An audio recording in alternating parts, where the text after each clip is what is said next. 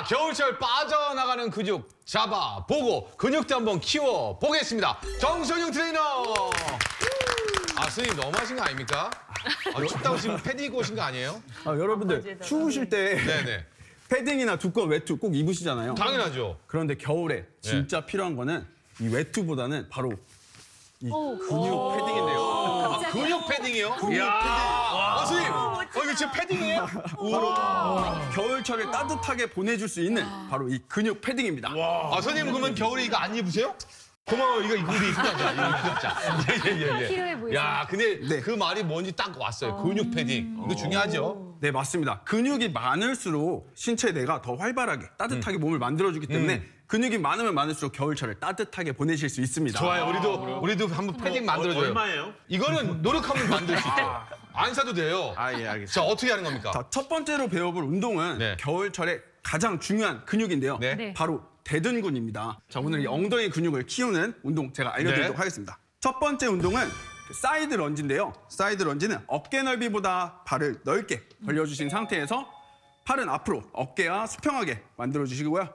그 상태에서 무게 중심을 반대쪽 발로 이동을 하시면서 그대로 엉덩이가 뒤로 빠지면서 앉아주시는 겁니다. 쭉.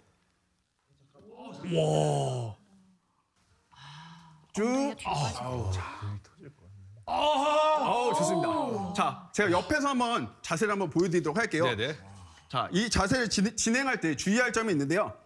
자, 이 상태에서 내려갈 때 무릎이 발끝보다 앞으로 나가시면은 음. 안 됩니다. 그리고 상체가 앞으로 숙여지셔도 안 됩니다. 예. 이 상태에서 무릎이 발끝 안으로 들어오게끔 엉덩이가 뒤로 야, 뒤로 뒤로 빠져주시면서 빠져야 돼요.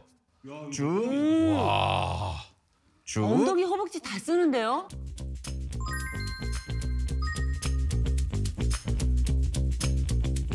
팔을 앞으로 어깨랑 수평하게끔 만들어주시고 자 저희 오른다리 쪽부터 한번 네. 무게 중심 이동하면서 엉덩이를 뒤로 빼보실까요? 오. 뒤로, 뒤로.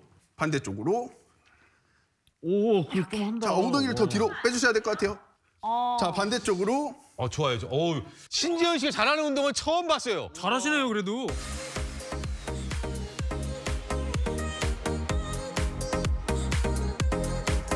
엉덩이를 최대한 뒤로 빼주시면서 네. 그 상태에서 반대쪽으로 다시 와볼까요? 더 앉아야 되는 거 아닌가? 예, 원래 거기가 아픈 거죠. 네 맞습니다 근데 운동 잘하고 계신다는 얘기입니다. 쭉, 어, 넘어지지, 넘어, 넘어, 넘어져. 쭉 이게 자, 자극이 오죠. 자, 이게 뒤로 뒤로 뒤로 뒤로 예. 아, 이 정도. 이 정도 이 정도. 예. 아, 얘가 너무 아픈데요? 너무 아프죠. 이 내전근의 유연성이 너무 부족하셔서 그러니까 내전근이 문제인데요. 우와, 이거 운동 되겠네요. 느낌이 있어요. 후끈. 어, 벌써 덥다. 예. 덥죠, 덥죠. 예, 예. 이러면 뭐 지금 뭐 전기난로 반납해도 돼요. 어, 그러니까 뭐 12번 하면은 아주 끝나겠네요. 예.